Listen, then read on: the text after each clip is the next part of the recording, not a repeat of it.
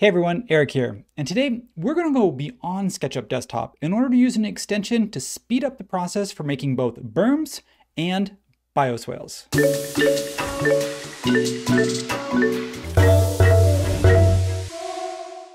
So what's the big deal about berms and swales? Um, do we need an extension for that? I would say no, we're actually gonna look at how to do it with sandbox tools. But the challenge is, is if you're doing sandbox, it means that you're only, you're gonna get a better result if you have better input information. What I mean by input is things like contours. Like you wanna know exactly where the slope in the terrain is going to tell sandbox how to make the slope or or the grading. So in this case, we're going to use an extension called Soap Skin Bubble. You've probably heard about it before. Um, we're going to go ahead and use it to do both of these right now. So let's just get to it.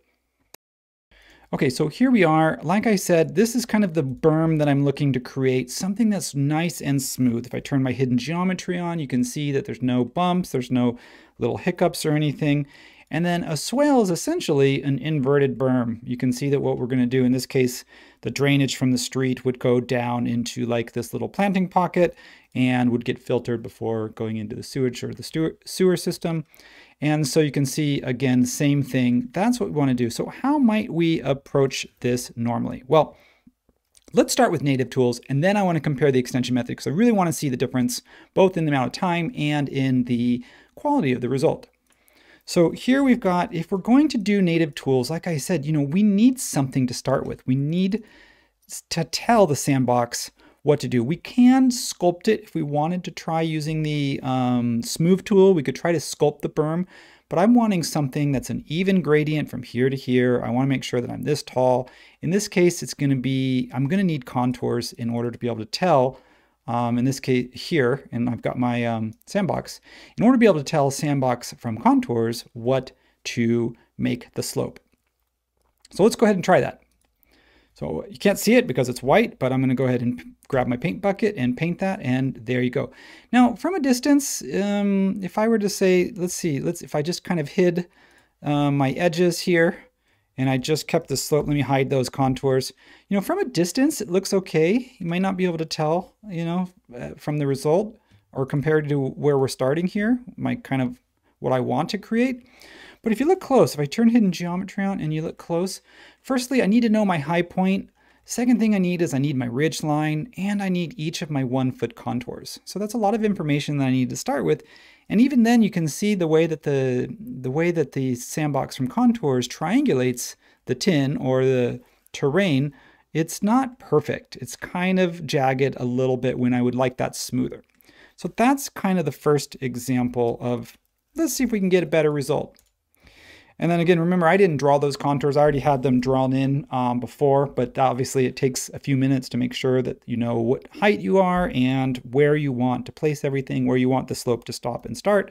So in this case, let's pretend like I don't have any of that. All I know is I have the shape of this berm for this plaza that I'm designing. And what I want to do is just make this a simple berm. So I'm going to select this. I want to make sure I select all the geometry. And then let's come up to View, tool palettes, and under extensions, there's one called Soap Bubble. That's a funny name. It's actually a free one, so I'm going to pop over to the extensions warehouse just to kind of show you what that looks like. If you type in soap, you'll find it, or skin, or bubble.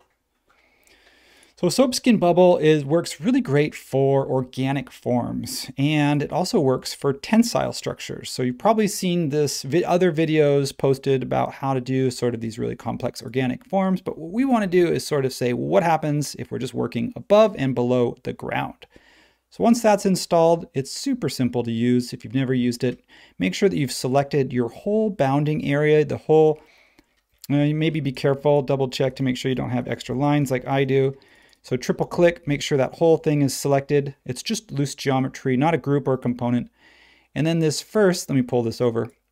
This first icon, it's called skin. It generates a skin, so something that we can use to then inflate or deflate, depending on how we want to do it.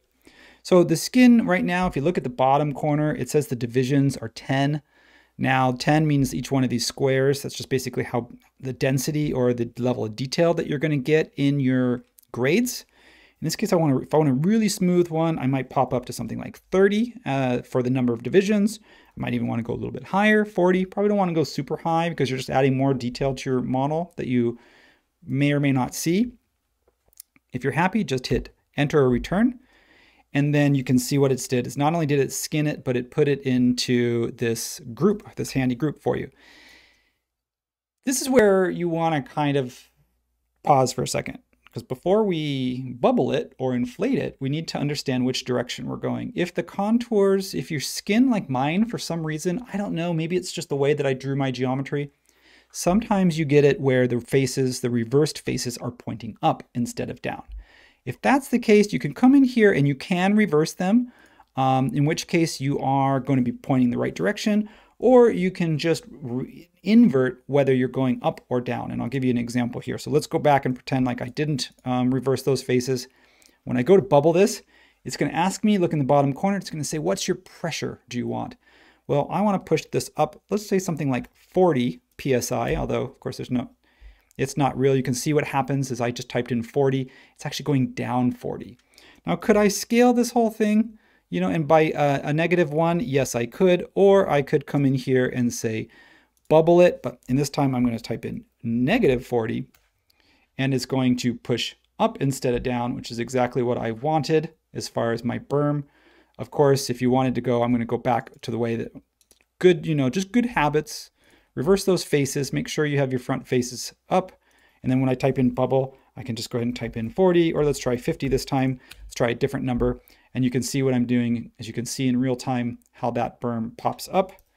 Grab my grass texture and to get rid of the um, quad mesh or these square square lines, that's easy. Just open up your soften smooth edges and click soften coplanar. So turn that on or off depending on your settings. And there you go. Now I'm going to finish this up here, my little berm here. You can see how it was so quick to make the berm. Now I actually have extra time. I'm going to do the contours afterwards. So for me, Instead of having those contours first and then making the berm with them, I'm going to do the opposite. Make the berm, then do the contours. So I'm to come extensions. There's another extensions. I'm going to put the link to both of these in the description. It's called Contour Maker by TIG. So I click on contours. It's going to ask me what interval or spacing. I want one foot. That's kind of typical for here in the United States. Click OK. And then what you can see is here are my contours. It kind of puts it on a new tag for me, which I like. So I'm going to put this on my contour tag, and then that way it shows up as dashed. I like that dashed line. Helps me kind of make, it reads more as a something that's not really there in my model. If that's difficult for you to see, um, it's because probably because of that texture. It's a little hard to see those lines um, on top of the texture, but they're there.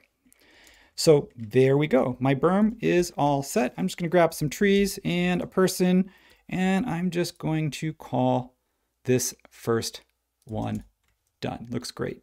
So I'm ready to move on and finish the rest of my plaza design. So now let's take a look at that same method, but this time for, instead of going up, we're gonna go down. So mean, you kind of already saw how I explained, you can just kind of reverse the, you can go up or down with the pressure. So you can tell it to whether you wanna make a berm, obviously you're going positive, you wanna go up, uh, again, also depends on which direction your faces are facing. So if we did this with Sandbox, let's go ahead and take a look at this result. I've got this um, sort of a basin here. I've got, maybe I want to pull this one up a little bit so that the grade, so it's not so um, steep transition. So it's a little bit more equal, but basically grab my top edge, hold shift, grab everything, grab my sort of lower, uh, my slope, my mid slope, my midline, and then my bottom um, where the water would sort of, sort of pool.